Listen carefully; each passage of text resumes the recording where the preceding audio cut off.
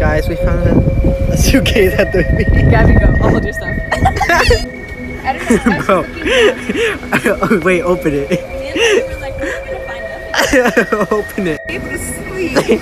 It stinks, y'all. It washed out. It's Oh. oh.